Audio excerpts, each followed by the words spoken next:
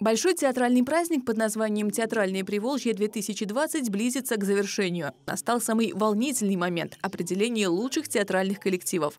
В эти минуты актеры каждого из 14 регионов участников присоединяются к онлайн-трансляции, в ходе которой и будут оглашены итоги.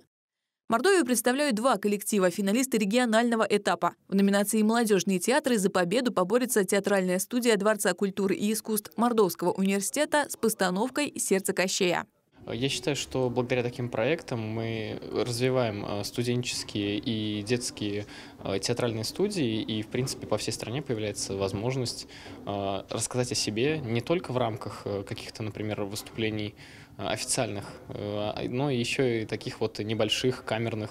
Ну, конечно же, хотелось бы победы. Это, разумеется, все участники этого хотят, и, в принципе, на данный момент у нас есть все шансы.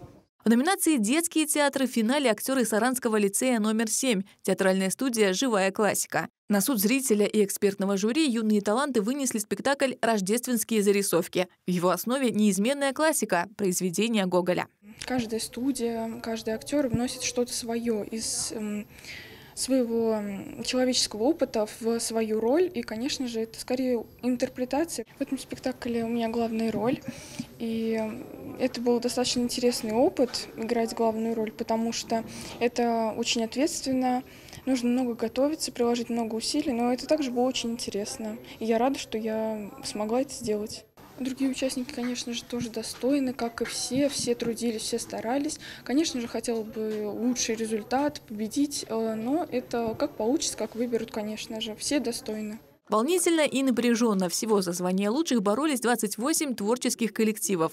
До начала основного экспертного голосования из регионов объявили имена лучших режиссеров, актеров и актрис, а также победителей специального конкурса плакатов. Афиша из Мордовии в числе лучших. Работа ученицы Саранской детской художественной школы Дарины Лапиной заняла третье место. Самыми ожидаемыми оказались, конечно, общие итоги. Лучшим детским спектаклем признана «Шинель» образцового театра кукол юного актера «Аленький цветочек» Самарской области. Среди молодежных постановок самой сильной оказалась «Страна слепых» коллектива «Абрикосовый сад» из Чувашии. В этом году Мордовия без призовых мест, однако наши коллективы расстраиваться не спешат. Участие для нас в театральном Приволжье – это было большой удачей, большим успехом. В спектакле принимало участие 12 ребят. Каждый из них с ролью справился, на мой взгляд, очень даже хорошо. Награждение победителей пройдет в апреле в Ижевске. Лучшие творческие коллективы получат гранты на новые театральные постановки. Юлия Мамаева, Владимир Надькин. Народные новости.